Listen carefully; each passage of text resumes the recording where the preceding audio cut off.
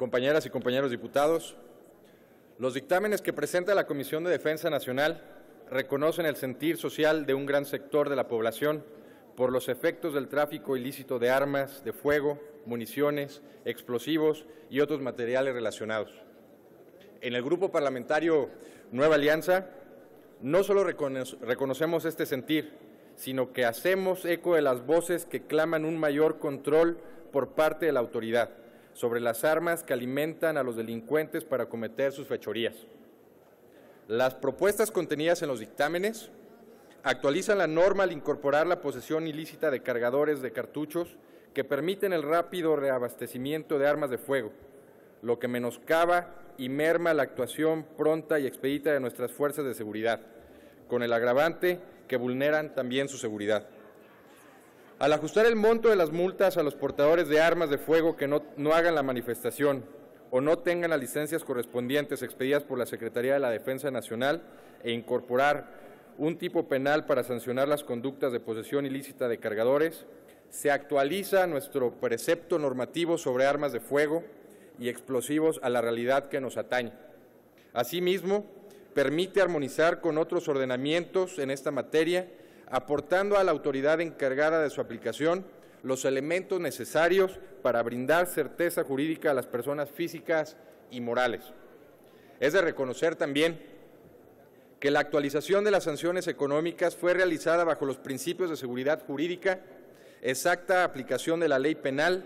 proporcionalidad de la pena y racionalidad jurídica establecidos en la Constitución, tomando en cuenta el grado de peligro de las infracciones administrativas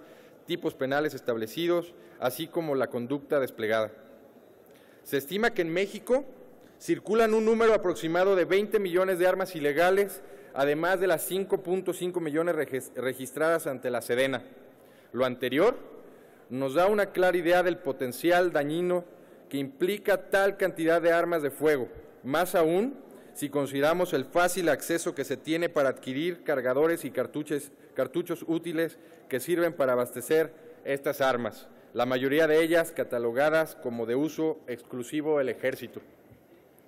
No atender esta situación con medidas efectivas generará el corto plazo un problema mayor, sobre todo si consideramos que unas 2.000 armas ilegales se introducen al país cada día procedentes de Estados Unidos de América. Estas armas y cartuchos abastecen a los cárteles de droga, de la droga, a la delincuencia común, a la delincuencia organizada, así como a miles de mexicanos que ven en su posesión una vía de defensa ante los niveles de inseguridad que prevalecen en diversas partes del país. Aspecto que no parece ser el mejor camino para enfrentar a la delincuencia. En el Grupo Parlamentario Nueva Alianza votaremos a favor de ambos dictámenes porque estamos convencidos de que la seguridad pública debe fortalecerse como un derecho humano indispensable para ejercer otros derechos consagrados en nuestra Constitución, como el de la seguridad personal, familiar y de nuestros bienes, el derecho de tránsito y a vivir en paz y con tranquilidad en nuestra comunidad. También debemos señalar que ante la crisis de inseguridad hay otras tareas relacionadas con la prevención que deben de ser permanentes.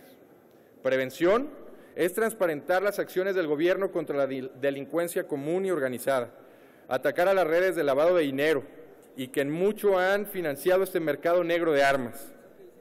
Significa el combate a la corrupción política y administrativa, pues de otra forma no se concibe el desmedido ingreso de armas y cartuchos ilegales por ambas fronteras. Consisten también en la prevención social del delito, fomentando las condiciones sociales, educativas y económicas para el desarrollo, así como una pulcra actuación de los ministerios públicos para que los procesos judiciales logren la condena de los inculpados.